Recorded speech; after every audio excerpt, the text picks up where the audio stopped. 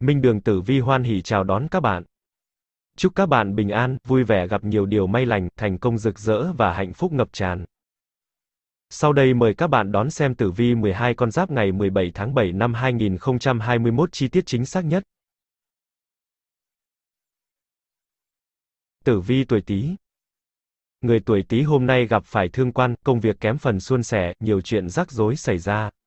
Bản mệnh cần suy nghĩ kỹ trước khi đưa ra quyết định về bất cứ việc gì, công việc không thể hành động theo cảm tính. Tùy tiện làm điều mình muốn mà không cân nhắc hệ quả sau đó có thể khiến cho tuổi Tý gặp phải rắc rối ngoài sức tưởng tượng. Đừng bao giờ để trái tim đặt lên đầu mà quên đi những nhắc nhở của lý trí, nhất là trong công việc của mình. Theo tử vi hàng ngày cho thấy, thủy sinh xuất cho mộc sẽ dẫn đến những mâu thuẫn trong chuyện tình cảm của các cặp đôi. Người nào cũng cảm thấy mình đã hy sinh quá nhiều cho đối phương mà đòi hỏi đối phương phải đáp lại mình nhiều hơn, thiếu đi sự khoan dung, độ lượng.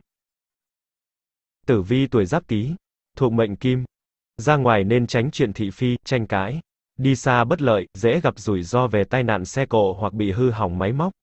Sức khỏe không tốt, trong nhà có chuyện buồn hoặc người thân đau ốm, hoặc súc vật có tật bệnh. Mọi việc nên có sự cẩn trọng, chậm rãi.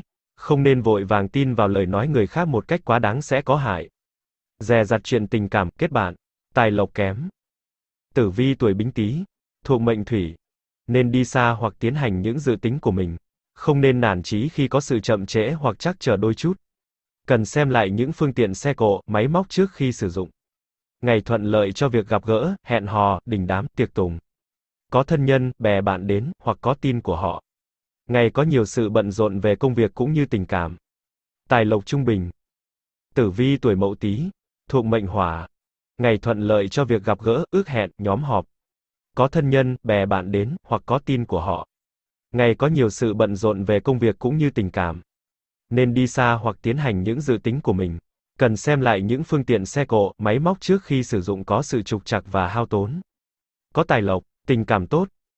Tử vi tuổi canh tí, thuộc mệnh thổ. Không nên chú ý đến lời bàn ra tán vào, hoặc vướng vào chuyện thị phi, tranh cãi. Hãy tự ý thay đổi công việc, công danh, chức vụ, phương hướng làm ăn, nếu đã có dự kiến của cấp trên, hoặc hoàn cảnh tạo những tình huống bắt buộc mình phải tiến hành. Có tài lộc hoặc gặp được quý nhân nâng đỡ giúp làm điểm tựa cho mình đi lên. Tình cảm tốt hoặc có tin tức tốt, nên cẩn trọng về sức khỏe nếu cần di chuyển, đi xa. Tử vi tuổi nhâm tý, thuộc mệnh mộc. Mọi việc giao thiệp, gặp gỡ trong ngày khó lòng gặp kết quả như ý, hoặc chỉ là chuyện vui chơi, không có lợi. Nên di chuyển ra đi để gặp người mình mong, đừng e ngại sự va chạm, nhưng cũng phải đề phòng rủi ro hoặc có sự chậm trễ, có sự việc khác xảy ra. Nếu là người nữ thì phải chậm rãi chờ đợi tin tức mới trong công danh, tài lộc, tình cảm, trước khó sau dễ. Cẩn trọng về sức khỏe. Có sự gặp gỡ thân nhân, bè bạn hoặc có tin.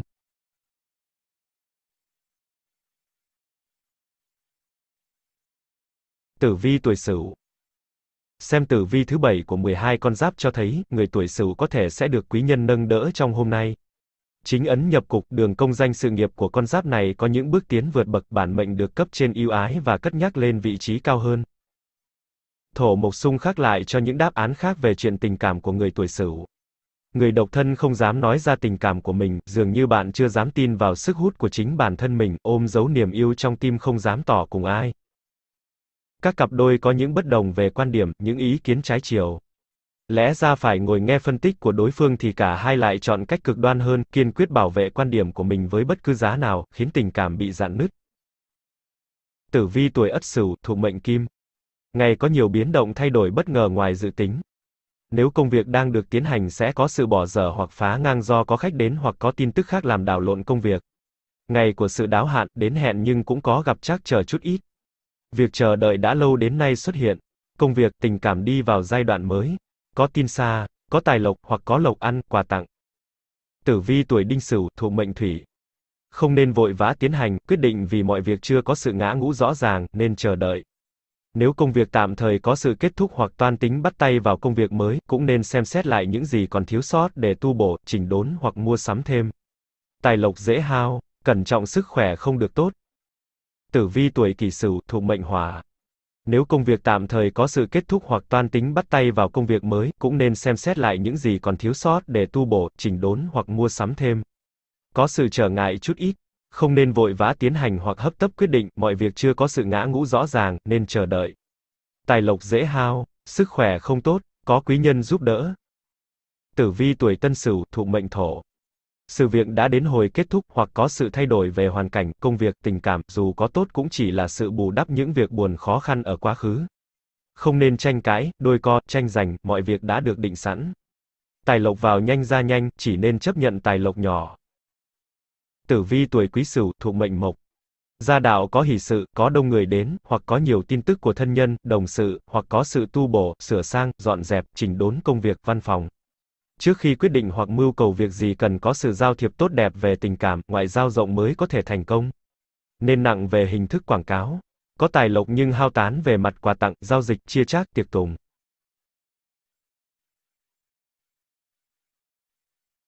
Tử vi tuổi dần Trong ngày có thiên tài xuất hiện trong tử vi hôm nay của người tuổi dần, báo hiệu một ngày tài lộc dồi dào, thu nhập rủng rỉnh của con giáp này. Người làm kinh doanh tiền về nhiều như nước, hàng hóa bán chạy như tôm tươi, chẳng có gì phải lo nghĩ. Dân văn phòng ngoài giờ làm việc còn có cơ hội để phát huy năng lực của mình trong nghề tay trái, thành quả gặt hái cũng không tồi, thu nhập tăng lên nhanh chóng. Bản mệnh nên có kế hoạch chi tiêu hợp lý để không phung phí tiền bạc. Mộc khí đương vượng ảnh hưởng đến sức khỏe của người tuổi dần. Chức năng gan của con giáp này bị ảnh hưởng. Trời nắng nóng uống một cốc bia mỗi ngày có thể giúp bạn giải khát mà tốt cho sức khỏe, nhưng nhậu nhẹt chè chén thì lại là chuyện khác nhé. Tử vi tuổi giáp dần, thuộc mệnh thủy. Ngày tuổi của bổn mạng, nên ngồi tại chỗ chờ đợi công việc hơn là đi tìm kiếm. Tin tức có sự chậm chạp, hoặc các tin có sự trái nghịch lẫn nhau. Tài lộc kém, nếu có thì cũng vào nhanh ra nhanh. Có sự tu bổ về nhà cửa, máy móc, xe cộ, đồ đạc. Không thuận lợi cho việc kết bạn, hẹn ước, kết hôn. Tránh mọi sự thị phi, tranh cãi và cũng không nên tin cẩn người khác. Hạp các nghề khoáng sản dầu mỏ, khí đốt, nhiếp ảnh, công nghệ thông tin. Tử vi tuổi bính dần, thuộc mệnh hỏa. Ngày tuổi của bổn mạng. Không nên tiến hành, giải quyết những việc lớn lao, không có lợi. Dù là việc tình cảm hoặc vui chơi cũng không có sự như ý. Nên tu bổ, sửa chữa, hoặc làm những việc đã có dự tính trước. Tài lộc trung bình. Tử vi tuổi mậu dần, thuộc mệnh thổ. Nên cẩn trọng trong mọi việc. Dễ có sự hao tốn hoặc cực nhọc chắc trở đưa đến hao tán. Sức khỏe không tốt, chuyện vui cũng không vừa ý. Ngày có nhiều sự thay đổi không giống như mình suy nghĩ. Nên xem xét tu bổ, sửa chữa, chỉnh đốn lại những công việc cũ. Sự mong cầu về tiền bạc còn chậm, khó khăn. Không nên để người khác nhúng vào chuyện của mình. Nên cẩn trọng khi sử dụng đồ đạc, phương tiện, di chuyển. Tử vi tuổi canh dần, thuộc mệnh mộc. Ngày tuổi của bổn mạng. Ngày có nhiều trở lực, khó khăn, hoặc có nhiều tin tức trái ngược nhau khiến phân vân trong việc quyết định. Đề phòng tiểu nhân, hoặc có sự bất đồng ý kiến. Tránh mọi tranh giành có hại đến công danh, tình cảm, nhân nghĩa. Có tài lộc nhưng dễ hao về di chuyển, việc làm, tình cảm. Tử vi tuổi nhâm dần, thuộc mệnh kim. Mưu sự còn bị nghẽn lối, hoặc công việc gặp trắc trở. Nên có sự di chuyển, thay đổi và nên tìm quý nhân giúp đỡ, hoặc chờ đợi sẽ có tin tức mới. Cẩn trọng về tiền bạc do tình thế đảo lộn khác với sự tính toán của mình. Có khách bè bạn đến, hoặc nhận được tin tức của họ. Có tài lộc.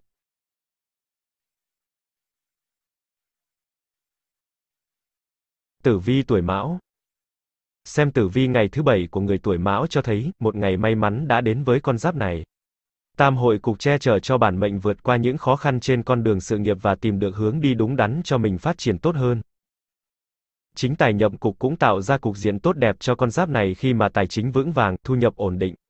Bản mệnh nhận được những điều xứng đáng với công sức mình bỏ ra suốt thời gian qua, bù đắp lại những vất vả, cực nhọc trước đó. Có tiền bạc dư dôi, mệnh chủ có thể xem xét đến việc dùng khoản tiền dư thừa để đầu tư vào các lĩnh vực khác nhau. Tuy nhiên, tuổi mão cần phải tham khảo ý kiến từ người có chuyên môn cũng như tìm hiểu kỹ thông tin để không mắc phải sai lầm.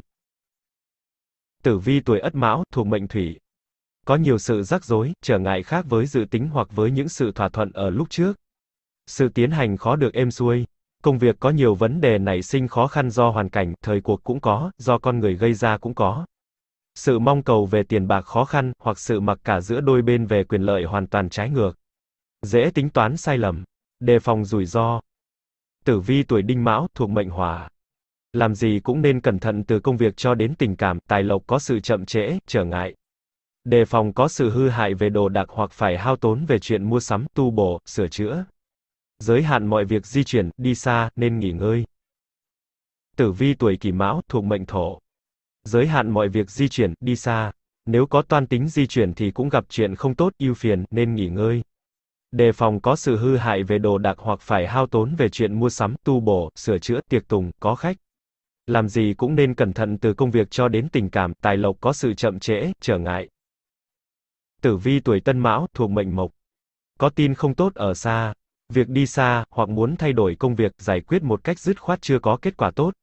Không nên vì tình cảm quá mức mà buông thả cho họ hành động, sẽ có thiệt thòi hoặc mang tai tiếng.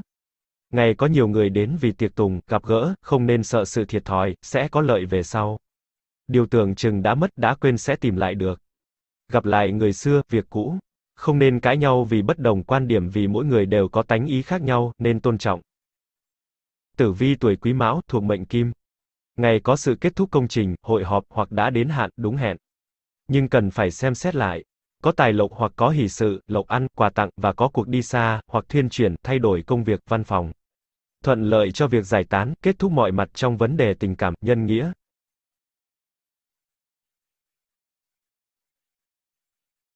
Tử vi tuổi Thìn Người tuổi Thìn hôm nay được cục diện ngũ hành Thìn dần tương hội nâng đỡ, đường tình duyên nhờ thế mà có được những dấu hiệu khởi sắc đáng mừng. Bản mệnh tìm thấy tình yêu của đời mình, những điều nhỏ nhoi cũng có thể khiến cho bạn cảm thấy hạnh phúc vô cùng. Thiên ấn xuất hiện trao cho tuổi Thìn cơ hội thăng tiến tốt hơn trên con đường công danh sự nghiệp. Bản mệnh nên tận dụng cơ hội này để phát huy năng lực của mình nhiều hơn, giành được sự chú ý và tin tưởng của cấp trên trong tương lai.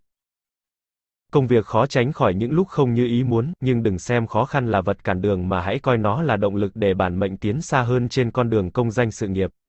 Càng nhiều khó khăn bản mệnh càng có thêm nhiều kinh nghiệm chiến đấu. Tử vi tuổi Giáp Thìn thuộc mệnh Hỏa. Sự trôi chảy của công danh, tình cảm có thể bị đảo lộn hoặc đứng chừng. Có rất nhiều điều khổ tâm, chịu đựng, tiến thoái lưỡng nan. Gia đạo bất an, có chuyện buồn. Đề phòng mọi rủi ro tai nạn rất dễ xảy ra cho bổn mạng, công danh, tình cảm của mình. Ngày xấu, chỉ nên an phận, không nên manh động. Nếu là người có phước đức lớn, tuy không có gì thiệt hại, nhưng cũng nhận được nhiều tin tức xấu của gia đạo, người thân, bè bạn. Đề phòng khẩu thiệt, thị phi, tai tiếng. Tử vi tuổi bính thìn, thuộc mệnh thổ.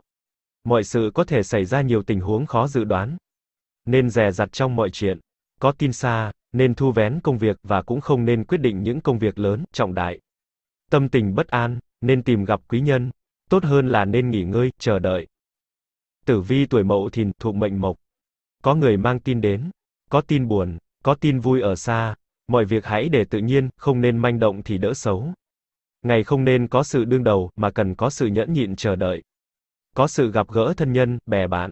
Sức khỏe không tốt, tài lộc dễ hao, hoặc phải chi trả những việc đáo hạn, định kỳ, đến hẹn. Tử vi tuổi canh thìn, thuộc mệnh kim. Có quý nhân hoặc có đồng sự, bạn bè tốt giúp đỡ mình hoặc cho tin tức, ý kiến hay trong công việc. Sức khỏe không tốt, có tài lộc, muốn thành công phải bỏ nhiều công sức, nỗ lực và phải tiến hành nhanh chóng mới có kết quả. Gặp lại người xưa, có người đi xa. Tử vi tuổi nhâm thìn, thuộc mệnh thủy. Mưu sự còn bị nghẽn lối, hoặc công việc gặp trắc trở. Nên có sự di chuyển, thay đổi và nên tìm quý nhân giúp đỡ, hoặc chờ đợi sẽ có tin tức mới. Cẩn trọng về tiền bạc do tình thế đảo lộn khác với sự tính toán của mình. Có khách bè bạn đến, hoặc nhận được tin tức của họ. Có tài lộc.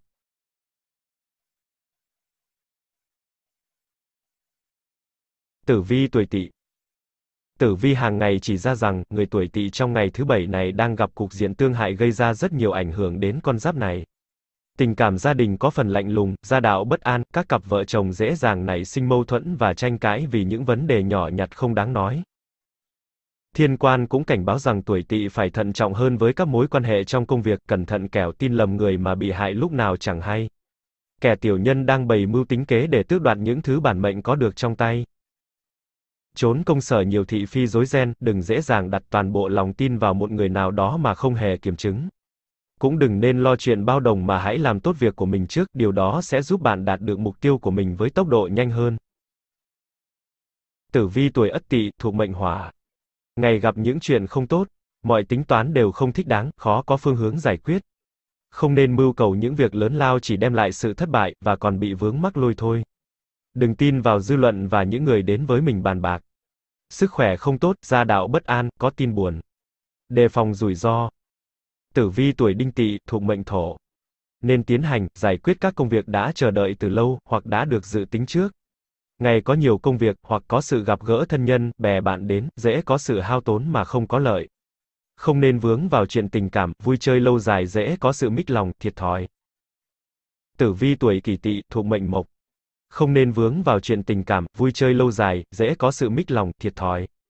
Cẩn trọng khi muốn tiến hành giải quyết các công việc đã chờ đợi từ lâu nên dự tính trước. Ngày có nhiều công việc, hoặc thân nhân, bè bạn đến dễ có sự hao tốn mà không có lợi. Có chuyện thị phi, trách oán. Tử vi tuổi tân tỵ, thuộc mệnh kim. Có tin đi xa hoặc thay đổi về công việc, công danh. Sự mong cầu về tiền bạc tuy chậm nhưng sẽ có kết quả, miễn là mình có chịu sự thiệt thòi đôi chút. Chuyện tình cảm không nên cưỡng cầu hoặc có sự rời hẹn, sai hẹn hoặc bất đồng ý kiến. Nên nhẫn nại tương lai sẽ có kết quả như ý. Có tin tức ở xa. Tử vi tuổi quý tỵ, thuộc mệnh thủy. Có sự kèn cựa tranh giành của tiểu nhân đưa đến có nhiều bực mình, nhưng không nên tranh cãi, sẽ bị thiệt thòi hoặc bị ràng buộc về lời nói, hẹn ước. Tránh chuyện thị phi, thưa kiện, có người chơi xấu hoặc gây cản trở. Tuy nhiên vẫn có quý nhân giúp đỡ hoặc có được tài lộc và phân tán trong những việc đã có dự tính trước.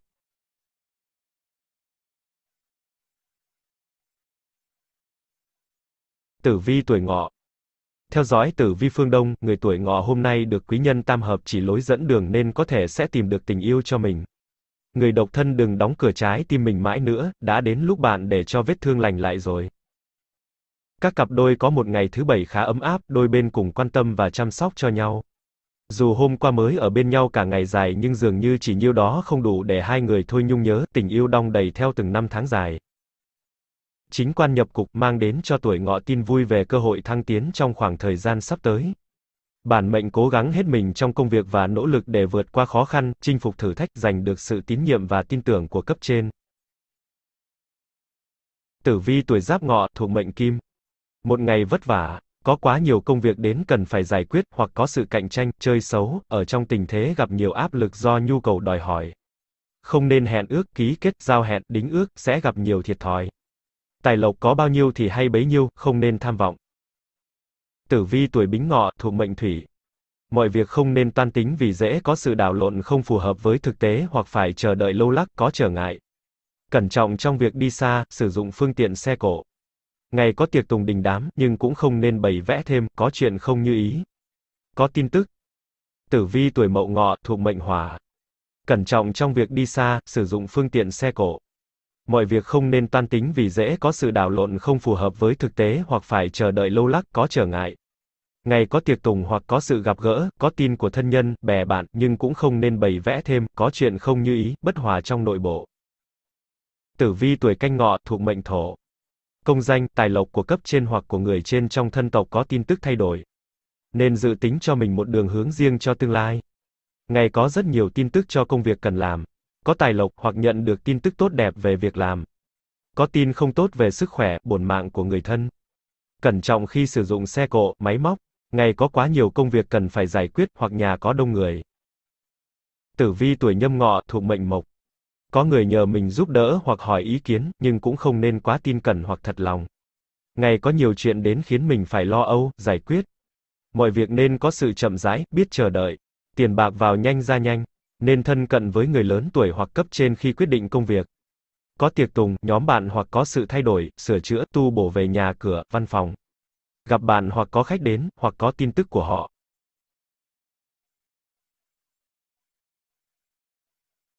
Tử vi tuổi mùi Chính ấn xuất hiện trong tử vi ngày thứ bảy này của người tuổi mùi cho thấy, đã đến lúc con giáp này phát huy hết sức mình để giành được vị thế cao hơn trên cuộc đua danh lợi. Đừng để những công sức trước đó của mình trở nên lãng phí. Song bản mệnh đừng để công việc cuốn mình đi quá xa mà quên mất rằng mình vẫn còn có một gia đình phải chăm sóc. Người ấy sẽ thấy cô đơn nếu hôm nào bạn cũng ở lại làm việc muộn, chỉ mình người ấy vò võ ở nhà chờ đợi đó. Mộc hòa tương xung, người tuổi mùi còn độc thân đừng quá khắt khe với bản thân mình. Bạn xứng đáng với hạnh phúc, bạn cũng xứng đáng được yêu thương, đừng để tình yêu phải chờ đợi quá lâu bởi bạn không dám tin vào chính bản thân mình. Tử vi tuổi ất mùi, thuộc mệnh kim. Không nên hấp tấp vội vàng trong mọi quyết định, sự mong cầu sẽ khó có kết quả hoặc có sự rời hẹn, sai hẹn, tin tức không đến. Nên tìm lại những kinh nghiệm cũ mà ứng phó thì sẽ có kết quả tốt. Có sự hao tài về mua sắm tu bổ, sửa chữa hoặc về tiệc tùng, đình đám, tin vui. Tài lộc trung bình, có người đi xa quay trở về. Tử vi tuổi đinh mùi, thuộc mệnh thủy. Nên có sự tu bổ, sửa chữa, mua sắm, chỉnh đốn lại công việc. Nếu có người hoặc có tin đề nghị công việc làm ăn hoặc có liên quan đến chức vụ thì nên suy nghĩ lại. Hoặc có được tin tức không tốt về công ăn, việc làm cũng không nên lo âu. Mọi việc sẽ có sự ổn thỏa. Có người hoặc có tin nhờ mình giúp đỡ. Tử vi tuổi kỷ mùi, thuộc mệnh hỏa. Nếu có người hoặc có tin đề nghị công việc làm ăn hoặc có liên quan đến chức vụ thì nên suy nghĩ lại. Nên có sự tu bổ, sửa chữa, mua sắm, chỉnh đốn lại công việc. Nếu có được tin tức không tốt về công ăn, việc làm cũng không nên lo âu, nên chờ đợi, mọi việc sẽ có sự ổn thỏa. Có người hoặc có tin nhờ mình giúp đỡ. Có tin buồn ở xa. Tử vi tuổi tân mùi, thuộc mệnh thổ. Không nên vì tình cảm quá mức mà buông thả cho họ hành động, sẽ có thiệt thòi hoặc mang tai tiếng thị phi. Có tin tức không tốt ở xa. Việc đi xa hoặc muốn thay đổi công việc, giải quyết một cách dứt khoát chưa có kết quả tốt. Ngày có nhiều người đến vì tiệc tùng, gặp gỡ. Điều tưởng chừng đã mất, đã quên sẽ tìm lại được. Gặp lại người xưa, việc cũ. Không nên cãi nhau vì bất đồng quan điểm vì mỗi người đều có tánh ý khác nhau. Tử vi tuổi quý mùi, thuộc mệnh mộc. Làm việc gì cũng không nên để mình bị dính mắc thiệt thòi. Coi chừng có người chơi xấu. Gia đạo hoặc công sở có nhiều người đến. Do đó công việc hay bị đứt quãng hoặc khi bắt tay vào làm thì khó trước dễ sau. Có sự sửa sang, tu bổ về nhà cửa hoặc văn phòng. Ngày có sự di chuyển, thay đổi về công việc hoặc có những lời đề nghị mới. Việc tình cảm mới chớm nở không nên hấp tấp trong việc hẹn ước và cũng không nên tin cẩn quá đáng. Có tin xa, có quý nhân giúp đỡ về lời nói hoặc danh tiếng. Tử vi tuổi thân Xem tử vi thứ bảy của 12 con giáp chỉ ra rằng, người tuổi thân hôm nay có vận trình hung cát đan xen. Thân dần tương xung, chuyện tình cảm gặp phải nhiều trở ngại, đôi bên không được ủng hộ bởi gia đình và người thân, gây ra nhiều sóng gió trong gia đình. Nếu bạn và người ấy đã quyết tâm đến với nhau thì hãy chứng minh cho mọi người thấy tình cảm của mình nồng nàn, thắm thiết đến mức nào. Đừng vội bỏ cuộc bởi những rào cản trước mắt, hạnh phúc vẫn đang chờ đón bạn ở ngay phía trước. Tỷ kiên xuất hiện và giúp cho bản mệnh vượt qua những buồn sầu trong cuộc sống, vững tâm hơn phấn đấu trong công việc và giành được những thành công lớn hơn. Đường công danh thăng tiến nhanh chóng, tuổi thân chớ để cơ hội trôi qua lãng phí. Tử vi tuổi giáp thân, thuộc mệnh thủy. Ngày sung của bổn mạng. Ngày có nhiều buôn ba lận đận khó khăn, hoặc gặp những chuyện buồn khó giải quyết mà công việc lại trong tình trạng cấp bách. Cẩn trọng nếu gặp sự thưa kiện, tranh cãi, nói ngược, sai hẹn. Ngày bị nhiều áp lực nên bình tĩnh. Không nên giao du, kết bạn, đi chung sẽ gặp họa, gặp điều bất mãn. Chuyện tình cảm chỉ là sớm nở, tối tàn. Tử vi tuổi bính thân, thuộc mệnh hỏa. Ngày sung của bổn mạng. Dù việc có gấp gáp, chắc chờ đến đâu cũng không nên hấp tấp vội vàng. Nên tìm gặp quý nhân hoặc bè bạn cho biết ý kiến. Ngày có khách đến hoặc gặp gỡ thân nhân, bè bạn. Có sự đáo hạn, đến hẹn, định kỳ, thay đổi công việc, di chuyển. Tài lộc trung bình. Tử vi tuổi mậu thân, thuộc mệnh thổ. Ngày sung của bổn mạng. Có sự đáo hạn, đến hẹn, định kỳ, thay đổi công việc, di chuyển. Dù công việc có gấp gáp hoặc chắc trở đến đâu cũng không nên hấp tấp vội vàng. Nên tìm gặp quý nhân hoặc bè bạn cho biết ý kiến. Ngày có khách đến hoặc có sự gặp gỡ thân nhân, bè bạn. Tài lộc trung bình, có tin vui ở xa. Tử vi tuổi canh thân, thuộc mệnh mộc. Ngày sung của bổn mạng. Nếu có tài lộc thì nên trang trải mọi việc còn tồn động lâu dài. Có quý nhân hoặc bè bạn giúp đỡ trong công việc. Không nên chần chờ lỡ mất cơ hội. Có tin tức ở xa hoặc người thân đi xa. Gặp lại người xưa, nếu cần thay đổi nơi ăn trốn ở, văn phòng thì nên quay về khu vực cũ. Có người nhắc lại chuyện xưa khiến mình cần phải giải quyết. Nên cẩn trọng về sức khỏe, nhà có người đau yếu hoặc gặp chuyện buồn. Tử vi tuổi nhâm thân, thuộc mệnh kim. Nên ra đi giải quyết công việc vì mọi việc sẽ trở nên không dễ dàng theo ý mình mong muốn. Đề phòng công việc dở dang, hoặc phải bỏ ngang công việc làm lại. Nên nhẫn nại, có tài lộc nhỏ, hoặc cầm tiền, đồ đạc của người khác nhờ mình chuyển giao.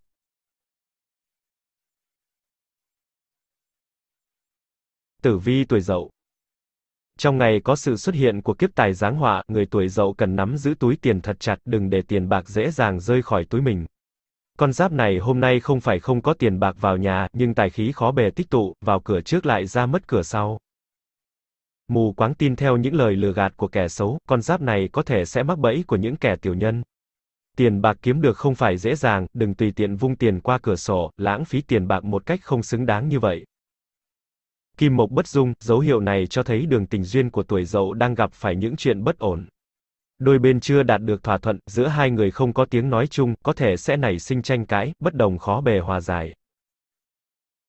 Tử vi tuổi Ất Dậu, thuộc mệnh Thủy. Ngày không tốt, không nên mưu cầu những việc lớn lao hoặc đương đầu một cách cứng rắn sẽ hoàn toàn không có lợi, còn đưa đến việc mất tình cảm, bất hòa. Chuyện giao thiệp tình cảm chỉ nên ngắn gọn, nên hoàn trả hoặc thực hiện những gì đã có dự tính theo hạn kỳ, hẹn ước. Tử vi tuổi Đinh Dậu, thuộc mệnh Hỏa. Ngày nên nhờ quý nhân giúp đỡ, khéo léo trong cách giải quyết công việc, chờ đợi tin tức khác. Có sự gặp gỡ thân nhân, bè bạn, có cuộc vui, tin vui, ăn uống, quà cáp. Nghe tin buồn về sức khỏe, buồn mạng của thân nhân. Ngày có sự hẹn ước, tài lộc không tốt. Tử vi tuổi Kỷ Dậu, thuộc mệnh Thổ. Ngày dễ có sự hao tán về tiền bạc. Nếu có thì cũng phải chia phần hoặc chi phí cho những việc cần thiết, giúp đỡ người khác. Có quý nhân giúp đỡ hoặc có cơ hội. Không nên nghe lời bàn gia tán vào mà hãy tự mình quyết định mới tốt. Tử vi tuổi Tân Dậu, thuộc mệnh Mộc. Ngày có nhiều công việc hoặc có tin tức đến phải lo âu tính toán, kể cả chuyện tình cảm. Tài lộc dễ hao tán. Mọi công việc nếu đang tiến hành chờ đợi đã lâu thì nay có sự kết thúc. Nên thay đổi hoàn cảnh hiện tại. Có tin buồn vui lẫn lộn. Nên cẩn trọng trong việc di chuyển, sử dụng xe cộ, máy móc. Sự mong cầu về tình cảm chưa phải là lúc có sự dứt khoát. Tử vi tuổi Quý Dậu, thuộc mệnh Kim. Có sự gặp gỡ thân nhân, bè bạn. Có cuộc vui, tin vui, quà cáp. Nghe tin buồn về sức khỏe, bổn mạng của thân nhân. Ngày có sự đáo hạn, hẹn ước. Tài lộc không tốt, cẩn thận khi sử dụng máy móc, xe cộ, đề phòng có tai nạn, rủi ro.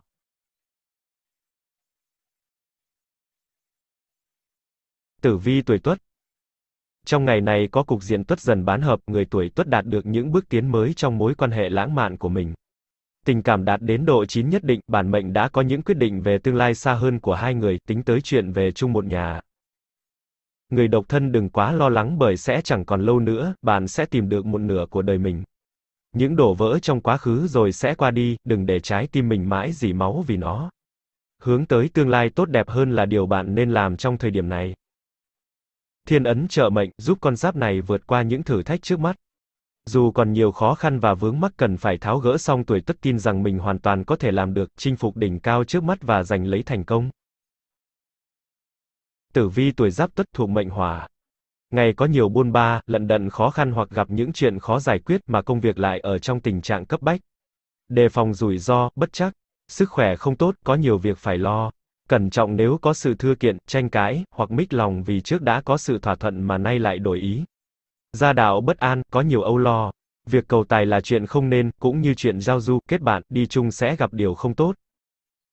Tử vi tuổi bính tuất thuộc mệnh thổ.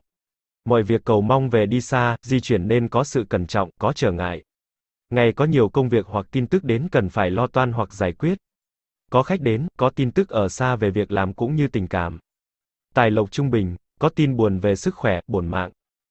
Tử vi tuổi mậu tuất thuộc mệnh mộc. Ngày có nhiều công việc hoặc tin tức đến cần phải lo toan hoặc giải quyết. Mọi việc cầu mong về đi xa, di chuyển nên có sự cẩn trọng, có trở ngại. Có khách đến, có tin xa về việc làm cũng như tình cảm. Tài lộc trung bình, có cuộc vui nhỏ, tránh chuyện thị phi, tranh cãi khi bàn bạc. Tử vi tuổi canh tuất thuộc mệnh kim.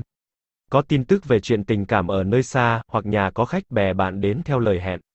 Không nên hấp tấp vội vàng quyết định nhanh chóng, kết quả sẽ không tốt. Có tài lộc, có tin xấu về sức khỏe, công danh của người thân. Cẩn trọng trong việc đi lại, sử dụng xe cộ, máy móc gặp trở ngại. Chuyện tình cảm chớ nên dây dưa không tốt. Tử vi tuổi nhâm tuất thuộc mệnh thủy. Mọi việc không nên hấp tấp tiến hành, không nên đương đầu, có nhiều trở ngại hoặc có tin tức không tốt về việc làm cũng như về tình cảm, đề phòng tiểu nhân. Trong công việc hãy nên nhận định kỹ càng rồi mới hành động, vì dễ có sự đảo lộn trong công việc hoặc phải lo cho người thân, bè bạn. Nên nhường nhịn, không nên tranh cãi, đôi co, nhưng cũng không nên hứa hẹn, hoặc để người khác ràng buộc mình vì lời nói. Gia đạo có nhiều âu lo, bận rộn, đau ốm, tai nạn hoặc có tang.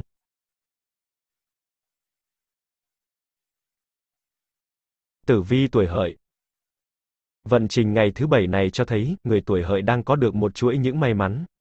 Con giáp này được quý nhân lục hợp nâng đỡ và che chở.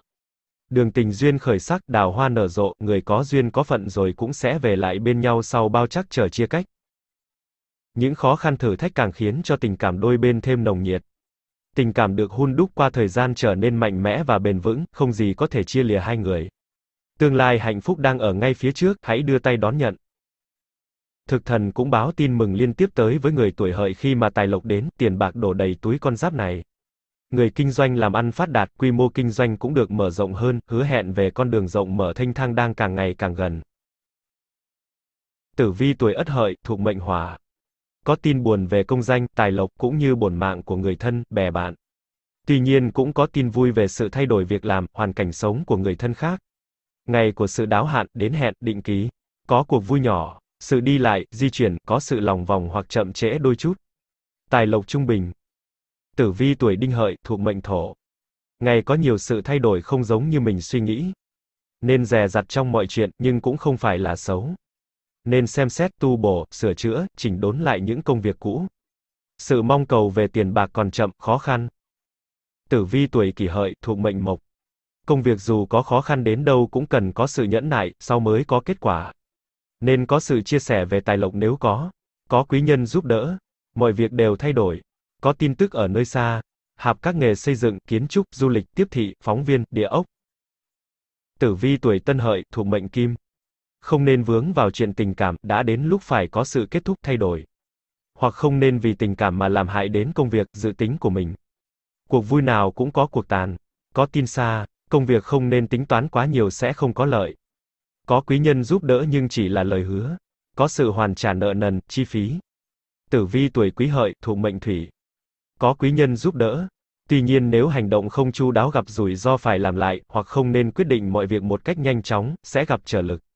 Tin tức chậm chạp, đề phòng sức khỏe không tốt, hoặc có tin tức không thuận lợi về mặt sức khỏe, tình cảm của mình hoặc của người thân. Cẩn trọng về lời nói, văn thư, giấy tờ có sự lầm lẫn khiến mình bị ràng buộc, thị phi, sai hẹn, rời hẹn. Cảm ơn các bạn đã theo dõi video. Xin chào và hẹn gặp lại.